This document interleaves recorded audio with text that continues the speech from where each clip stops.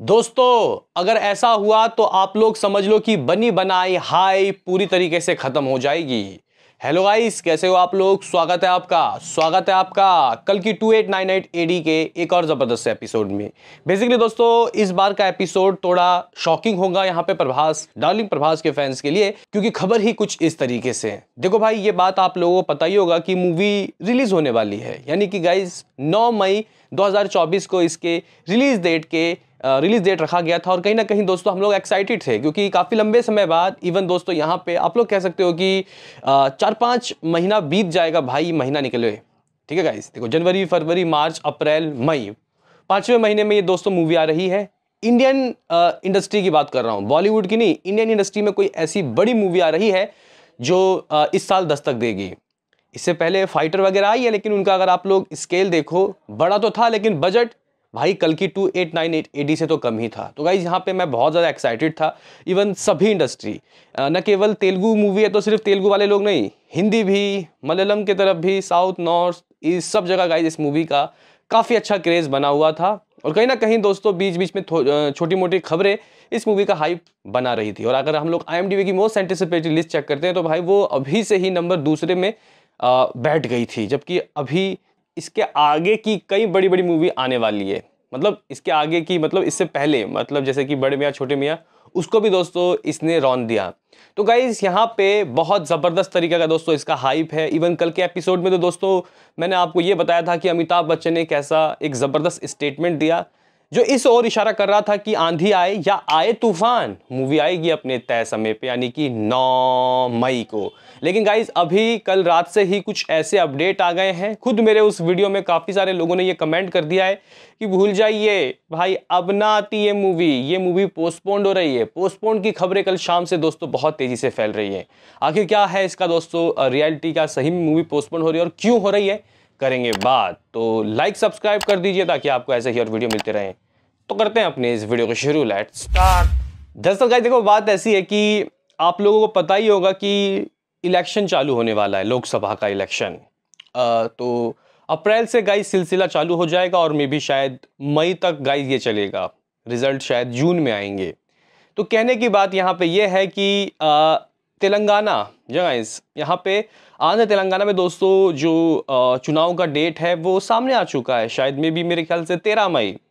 आप लोग बोलोगे कि भाई मूवी तो नौ मई को रिलीज़ होने वाली है तो फिर क्या टेंशन टेंशन कुछ नहीं है। गाइज़ यहाँ पे कहने की बात यह है कि जब इलेक्शन होता है तो माहौल गर्मा जाता है। यहाँ पे जो न्यूज़ वाले होते हैं, जो गाइज़ यहाँ पे मीडिया होती है इवन गाइज़ जो लोग होते हैं, वो भी इंटरेस्ट दिखाते हैं भाई चुनाव में कि कौन जीत रहा है, कौन हार रहा है, किसकी कहाँ क्या हवा है। इवन गाइज़ ग्राउंड लेवल में भी काफ़ी ज़्यादा प्रचार प्रचार होता है। तो ऐसे में कह सकते हैं कि दोस्तों, इसके वजह से मूवी धूमिल ना हो जाए मूवी का क्रेज़ ख़त्म ना हो जाए इंटरेस्ट लोग कम ना लेने लग जाए।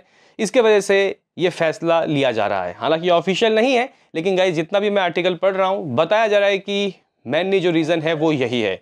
जहाँ गाइस यहाँ पे असली रीज़न बताया जा रहा है कि इसी वजह से इस मूवी को शायद पोस्टपोन कर दिया जाएगा। कुछ खबरें ऐसी हैं जो कह रहे हैं कि ये मूवी कुछ ही दिनों के लिए पोस्टपोन होगी। लाइक अगर 9 मई को मूवी आने वाली थी तो मई में ही आएगी, लेकिन एक दो हफ़्ते बाद मे भी शायद मई के लास्ट वीक में। क्योंकि गाइज़ यहाँ पे अगर हम लोग देखें तो इसके बाद फिर जून, जुलाई है। अगस्त में तो भाई पुष्पा टू आएगी, जो कि तेलुगु की एक और one of the most awaited movie है। इसके आगे कोई नहीं टिकेगा।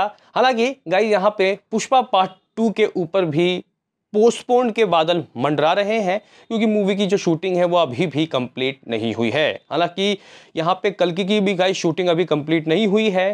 अभी अमिताभ बच्चन ने जो बातें कही कि हम लेट नाइट आ रहे हैं, बहुत टाइम लग रहा है, बहुत ज़्यादा अभी मतलब प्रेशर है, काम बहुत रहता है। तो गाइज़ यहाँ पे कहने की बात यह है कि मे बी शायद चुनाव को देखते हुए और काम को देखते हुए वीएफएक्स लोडेड मूवी है। बताया जा रहा है डून लेवल का गाइज़ इसमें वीएफएक्स होगा। तो इस वजह से इतना प्रेशर ना झेलते हुए नाग अश्विन इस मूवी को पोस्टपोन कर देंगे। और अगर तो पोस्टपोन होती है कोई मूवी तो गाइज़ एक दो हफ़्ते के लिए तो होती नहीं है। जहाँ जो लोग सोच रहे हैं कि एक दो हफ़्ते के लिए पोस्टपोन होगी तो वो लोग गलत है। मे भी शायद एक दो महीना।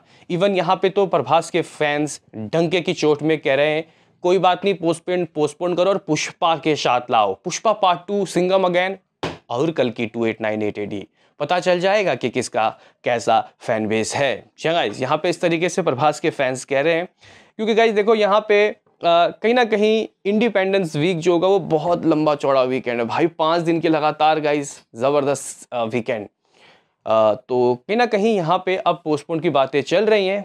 देखते हैं कि गाइस क्या मेकर्स पोस्टपोन करेंगे या फिर मेकर्स तय समय पे रिलीज़ कर देंगे। कुछ भी हो, लेकिन गाइज़ यहाँ पे मामला डाउन होगा, क्योंकि अभी काफ़ी अच्छा हाइप बना हुआ है मूवी का। अभी तो हम लोग कल बात कर रहे थे कि 21-22 तारीख को इसका टीज़र भी आ जाएगा, लेकिन अब ये खबरें होश उड़ाने वाली है। मतलब गाइज़ यहाँ पे जो लोग गर्म थे मतलब मूवी जितनी गर्म थी, ये ठंडी हो जाएगी। फिर लोग बोलेंगे कि यार, फिर वही पोस्टपोन क्योंकि मूवी ऑलरेडी पोस्टपोन हो चुकी है दोस्तों। ये मूवी संक्रांति 2024 में आने वाली थी। फिर इस मूवी को आप पोस्टपोन करके 9 मई को किया गया। अब ये कब आएगी? किसी को नहीं पता, लेकिन यहाँ पे मूवी पोस्टपोन होगी इस बात की। लगभग गाइस काफ़ी ज़्यादा संभावनाएँ हैं। तो कल की two eight nine eight AD movie के गाइज़ इस शॉकिंग खबर पे आपका क्या कहना है? आपको क्या लगता है कि मूवी पोस्टपोन होगी तो हाइप गिरेगा या नहीं? बताओ। बाकी मिलते हैं किसी नेक्स्ट वीडियो में। अभी के लिए इतना ही।